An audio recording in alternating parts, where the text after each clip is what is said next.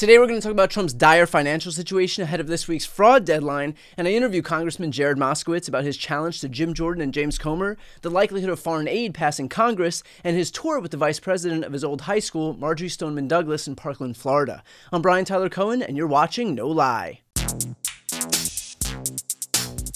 We are now on the cusp of the deadline for Trump's massive $455 million payment or bond in the New York fraud trial. Now, here's what we can expect. The most likely option, in my opinion, is that he can't come up with the money, in which case Letitia James begins the process of seizing his assets to satisfy his judgment that way. Already, she started the process of preparing to seize at least one property owned by Donald Trump, and that one is called Seven Springs. It's described, according to the Daily Beast, as a Bruce Wayne like mansion surrounded by 212 acres of dense woods and rolling hills which I'm sure is a perfect complement to the very understated gold toilets. Now, she filed this judgment in Westchester, New York, about two weeks ago, which means she effectively has a lien in place in the event that Trump tries to sell the property or otherwise shift his assets to avoid having them seized. And if the value of Seven Springs doesn't satisfy the full amount that Trump owes, which is that half a billion dollars, she'll keep seizing his properties until they're made whole, which means that we may very well see Trump Tower turn into a, a spirit Halloween in time for October. And here's another option, one which I'm increasingly worried about that he finds the money from a foreign government or a foreign entity. Here's what Trump's lawyer, Alina Habba, said when asked about this possibility directly. Um, is there any effort on the part of your team to secure this money through another country, Saudi Arabia or Russia, as Joy Behar seems to think? Well, there's rules and regulations that are public. I can't speak about strategy that require certain things, and we have to follow those rules. Like I said, so, uh, not a no.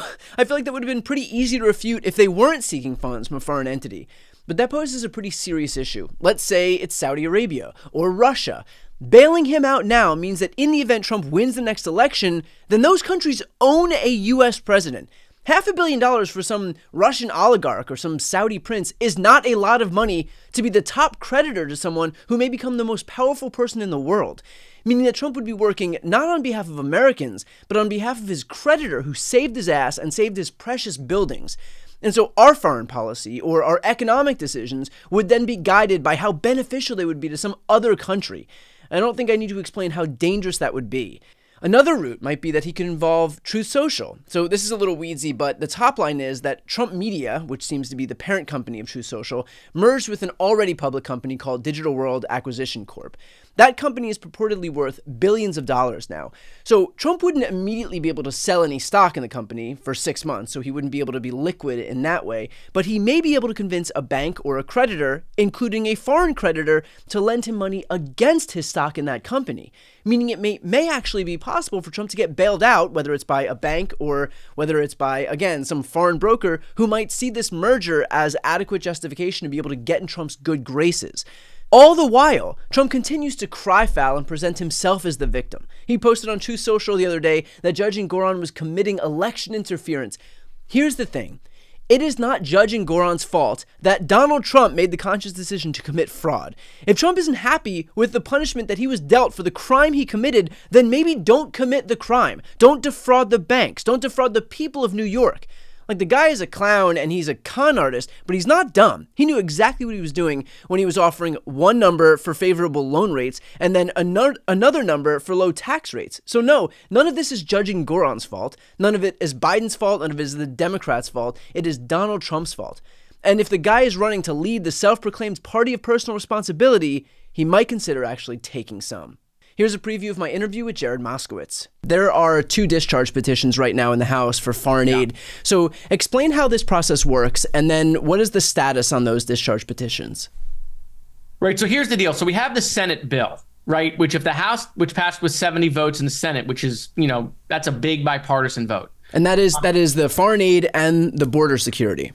Correct. Okay. And, and so, if you take that up in the House and we pass it, it will go right to the president's desk right? Which is the fastest way to help our allies in Israel, Ukraine get humanitarian aid to the Palestinian people and Taiwan, and also replenish our own arms. Let's not pretend 30 billion of that right. stays right here in country. Right, that's that's half of that amount. That there was 60 Correct. billion dollars. Half of it was just to replenish our own military. Correct. with weapons again made in America, so job in you know helps jobs in this country. So all that money was staying here.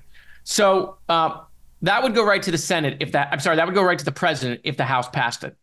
If we do a discharge petition, right, then it has to go back to the Senate, and that process starts all over there.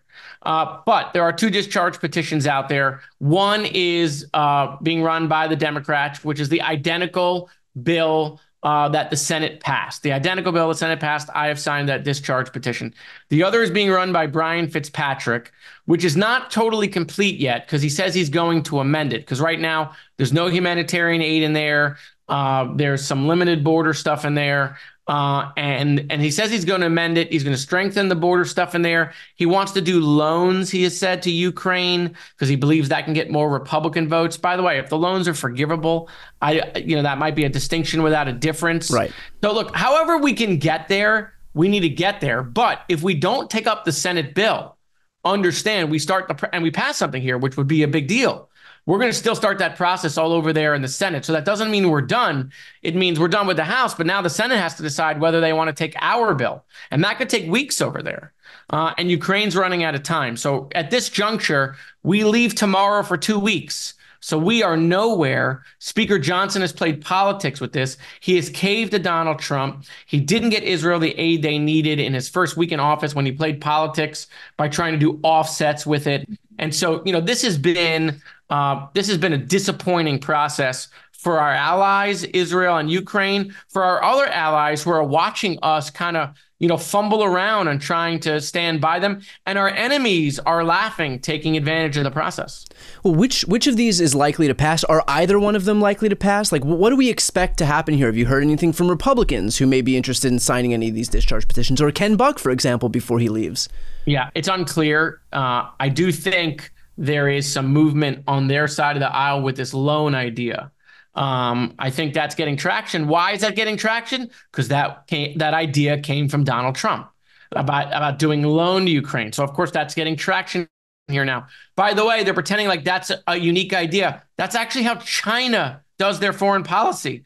They give loans instead of grants. Okay, go around the world. You can talk to other countries. That no one wants these loans. Uh, but you know, look, if again, if we can get the aid to Ukraine, I don't care what we call it.